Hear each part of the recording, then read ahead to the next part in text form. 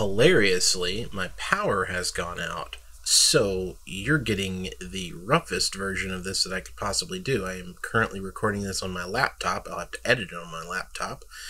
And uh, I'm using what I believe is the onboard mic.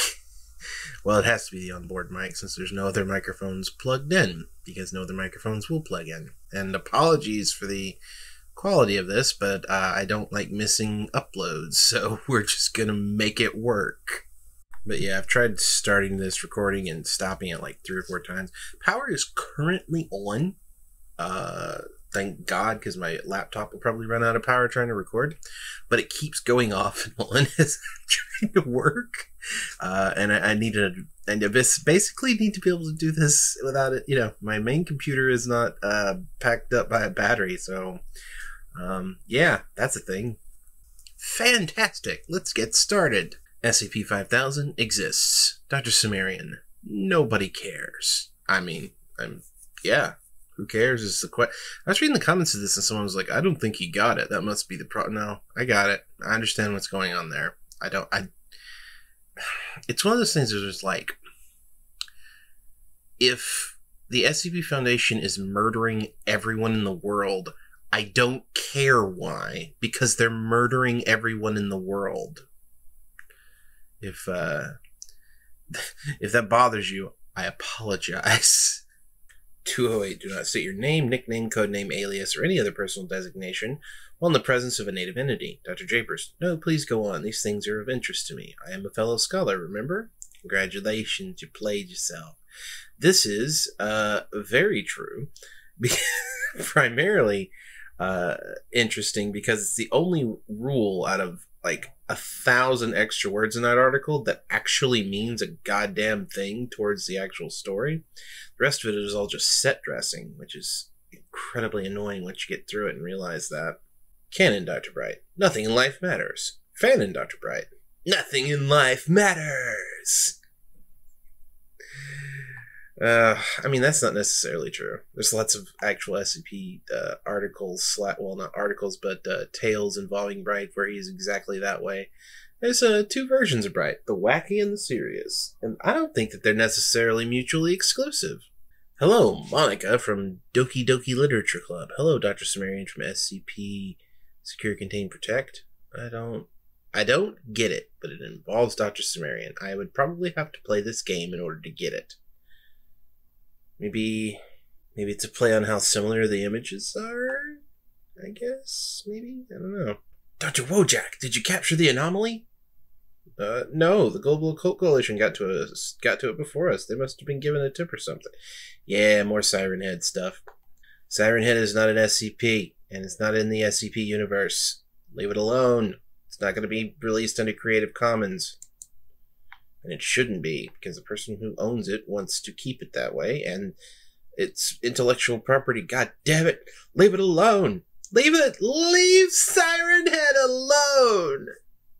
God, that's a meme that's so old, most of you probably won't get it. And that makes me sad. Anyway, the US government and the game control. The FBC has this world altered world event under control. Don't worry about a thing the U.S. government and the SCP universe. If anyone from any other organization gives you no, it's just the UIU. That's the thing. People forget this. UIU is not necessarily the only organization that the U.S. government has that handles uh, anomalous things. In fact, there's almost certainly a number of U.S. Uh, military intelligence uh, units that handle anomalous things beyond just DARPA. I think DARPA is in the Army, but I could be wrong. Regardless, like there are many uh, agencies in the U.S. that handle it. The UIU is just the most inept. Dr. Cimmerian putting your meme into a video. R slash dank memes from Site 19. That's a that's a cute cat. Dear Broken Church, if the Cogwork orthodoxy are the tickers and the Maxwellists are, I'm sorry, the Maxwellists are the Hummers, then are the Mechanites boomers? Okay. Foundation 426's file. Haha, funny toaster breaks grammar. Serpent Hands 426 file. It is a monster taking over the entire universe. which is about right since, uh, I mean, the entire universe is a toaster after all. Oh, I saw this. Somebody linked me this. I think it was Yasi. Yasi linked me this. So, uh, what are you let in for? I can slow down photons and use them to craft various items. Uh, I get a miniature version of Earth in my chest. Uh, se- seals won't stop abusing me. Fuck you, Carl. Sorry, Carl. He, you don't. You know he doesn't mean it. Carl, you bastard, get over here. And someone was like, "Why is that guy got a? Uh, uh, why is that guy carrying a seal around?" And I, and, and I read the comments, and apparently, it, it, which is even more interesting. Uh, this guy's anomaly is that he has a seal in his torso. so that's great. I love it. And and then another comment was, uh, I love that Carl's first response is to run away. Also, if you look real close in the t- in the first frame, you can find Waldo. Ah, uh, yeah. I should probably put this on a poster. Reading hundred word long general generation one articles. Generation should be series. Reading one thousand word generation three articles. Reading seven kilometer long Generation 5 articles. I don't, that doesn't seem fair. Maybe it is fair. I don't know. I've, I haven't read a lot of modern articles anymore, like the Series 5 stuff, the Series 6 stuff. Uh, it's just, uh, not, not, I've been spending so much time on this. Creating an uh, really shit SCP when I was 14. Crippling fear of rejection of ideas and overall feeling of worry that my ideas are unoriginal and terrible, dropping self esteem to unimaginable lows. Yeah, and you don't have to be 14 years old for that to happen. You know, this is particularly ironic, which we'll talk about in a second. Seven year old nephew talking about how Siren Head is an SCP, intellectual property lecture. Dr. Cimmerian. Okay, so um, when I was, I, I, tweeted this out that because I was sitting at not Memorial Day. What was the last holiday before that?